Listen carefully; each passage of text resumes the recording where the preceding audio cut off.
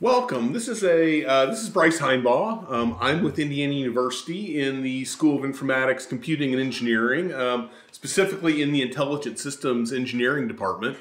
And uh, this is a series of videos about how to use Fusion 360 to design a board. And so this is uh, specifically for um, an embedded systems class that I design um, at the at the school here um, where we actually build uh, light sensors to measure uh, light pollution uh, for the Hoosier National Forest. And so these are, our small sensors um, that go into the forest. So it's uh, so um, uh, the students have been programming those systems using a, a Nucleo board. We use ST processors here. So a small um, a small board that they can write software for um, using something called STM32Cube IDE. So they've been working on demo boards and, and, and breadboards basically to, to, pro, you know, to, to work on the software prototype. And now we're getting to a point where um, it would be great to have a special purpose board for this system. And so this is um, this is about um, how do you do that? How do you go from you know this idea of the processor that you want to use all the way to um, you know, a mechanical enclosed sensor that could actually go out in the world. And so uh, we're, we're, working. Um, this project is is in many, in many senses aligned with a a, a project that that I have uh, that, that, I'm maintaining, working with students to uh, um, to, to, develop. Um, to develop these sensors over time, um, refining them. And so let me show you a version of that sensor. This is a sensor here, and it's got a little uh, it's got a little optical filter here, a little piece of glass that's glued into this enclosure.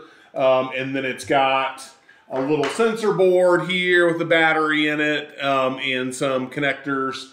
And then it's got this little cup base that's got, you know, a seal and then it's got a little plug. Uh, we Right now we're getting the data via serial cable uh, just for simplicity's sake, but over time we'll uh, we'll change over to a wireless link. Um, it'll probably have two wireless links. Actually, it'll probably have both LoRa and um, and Bluetooth um, just to do things like updates and things like that, which are uh, more challenging to do over LoRa.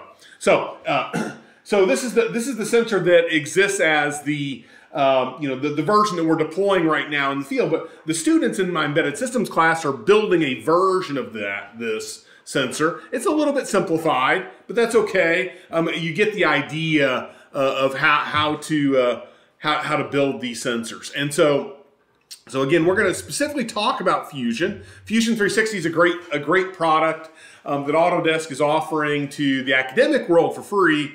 Um, and I know they're, you know, the hobbyist world that they're, you know, maybe it's it's got um, slightly different features that are available to the hobbyists. But in the academic world, we get this, this tool for this wonderful tool for free. Um, we've done this class in the past using open source tools, uh, but the stability, you know, using things like FreeCAD and KiCad, which are great tools, but the stability across different platforms of Fusion um, is is really exceptional. So this video is really going to be about well, how do you go from um, this, um, you know, this sort of um, idea of this embedded system all the way to an enclosed product.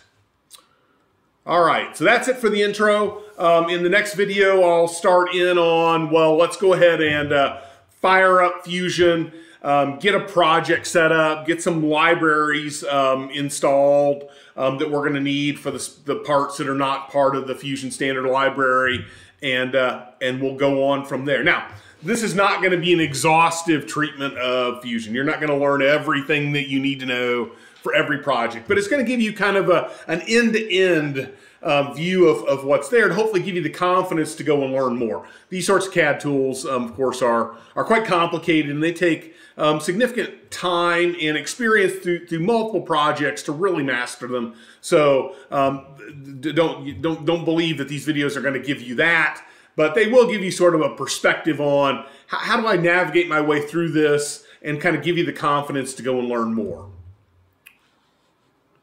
More next time.